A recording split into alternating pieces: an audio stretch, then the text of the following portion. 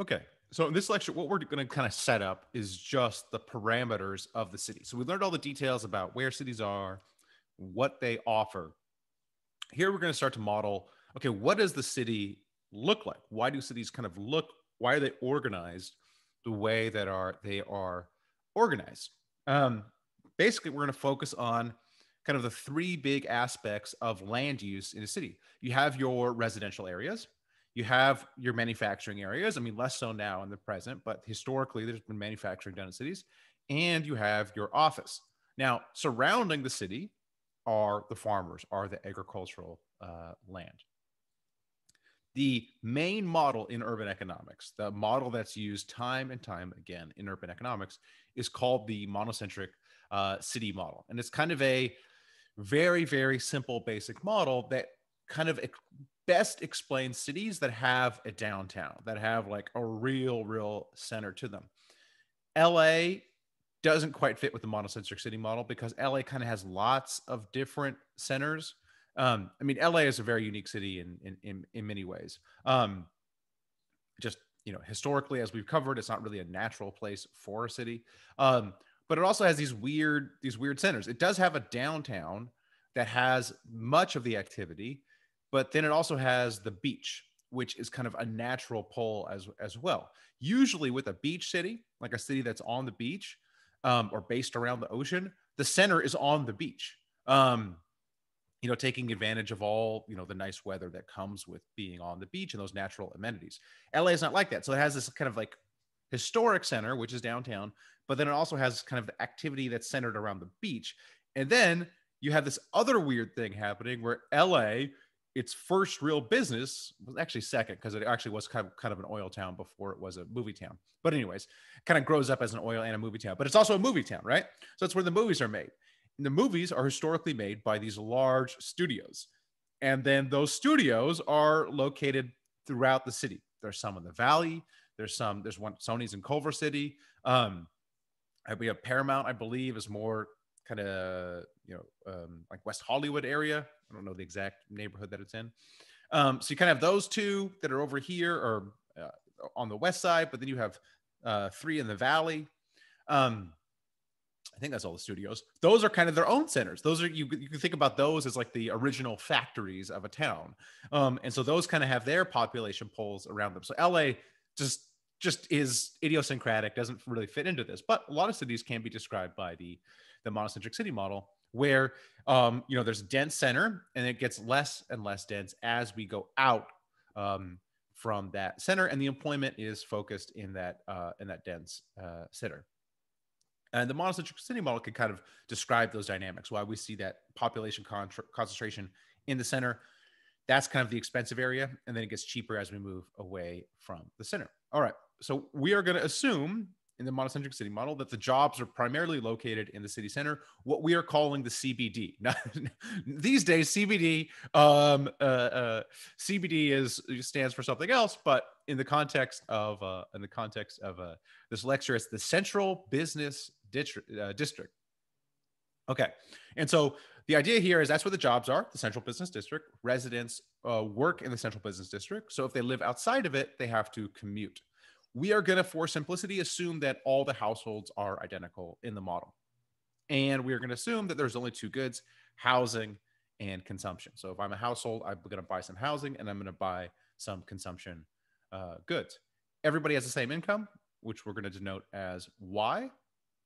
And basically, you assume uh, you consume C, which is your consumption, and Q, which is your housing. So the more Q you have, the more housing uh, you have, bigger house, bigger square footage, that sort of thing we're going to normalize the price of consumption to one. So we're going to say, all right, everything is relative to this is often done in econ models. You should probably get used to it if you're an econ major.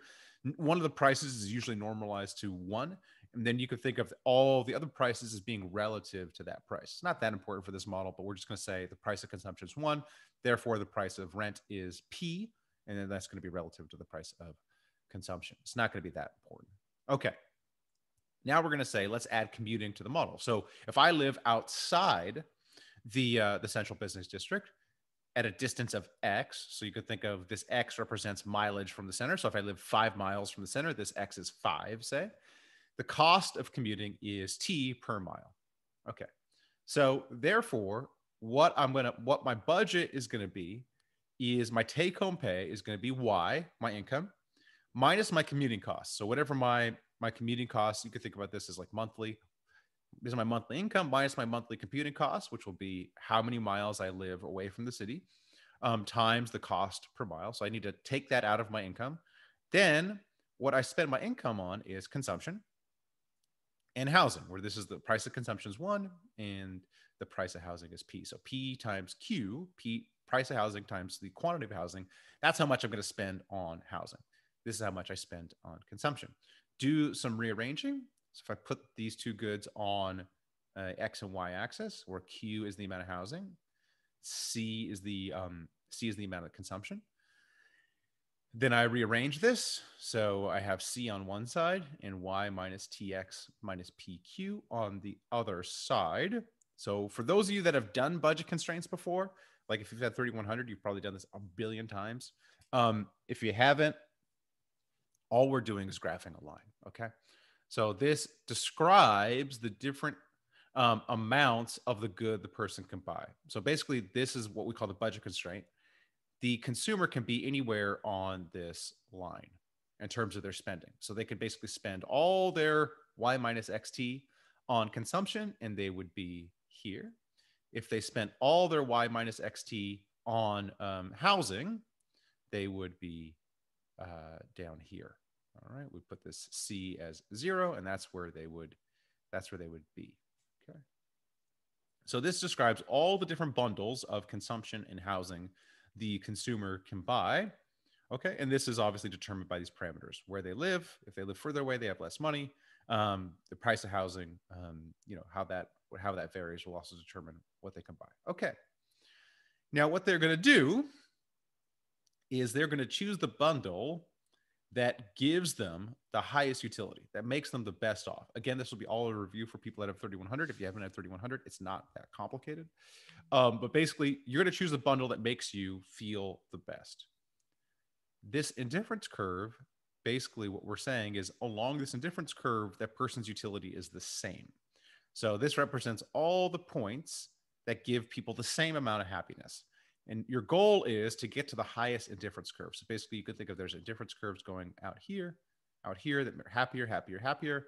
There are difference curves here that are less happy, less happy you're going to choose your bundle that gets you on the highest indifference curve, gets you the highest level of happiness. Okay, and so for this one, we're going to call it C star, Q star here. Okay. Now, we have assumed identical households with identical income. Okay. Now, therefore, what that means is people living in the city center have to be equally happy to those that are in the suburbs. Otherwise, there will be movement. So, in order for what we call the spatial equilibrium to, to work and that nobody wants to move, everybody has to be equally happy either in the city center or elsewhere. Otherwise, people will be moving back and forth. For the spatial, so, so for the spatial equilibrium to work, people have to be equally happy. Okay. Now, if prices were the same, if it to cost the same amount to live in the city center versus the suburbs, this would not be possible. Okay. Why is that? Well, the people who are living in the city center would have more money. All right. Why is that? Okay. If I live in the city center, let's say, uh, let's say I live right in the city center, therefore X is zero. Remember what X is? X is the distance of my commute. So if I live in the city center, I don't have a commute, X is zero. Therefore, this number, Y minus XT, is just Y.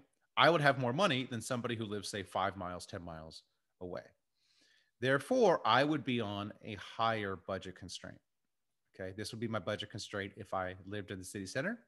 This would be my budget constraint if I lived away from the city center.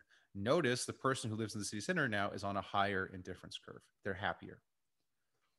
So, what has to happen is prices have to adjust that person who lives in the city center then has to pay more for housing.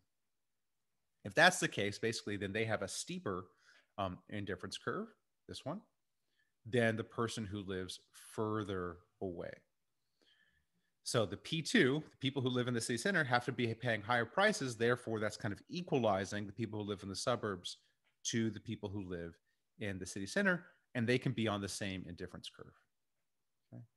So in this case, this is this is the people who live further away budget constraint. This is the people who live in the city center budget constraint.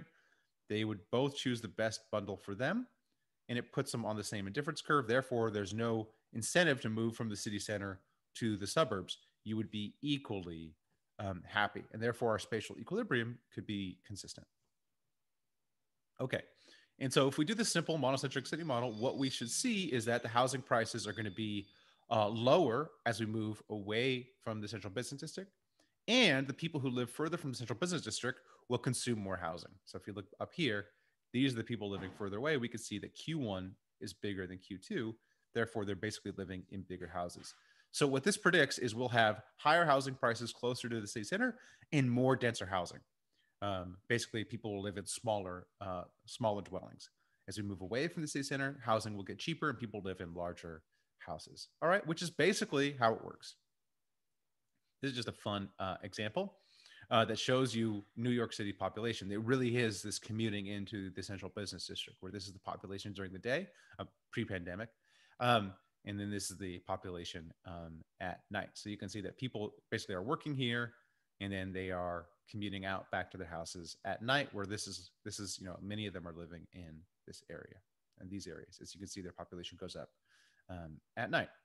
All right you can see simply the population density in la you can kind of see as i was describing the relative uh, uh, city centers that la has. Here's downtown.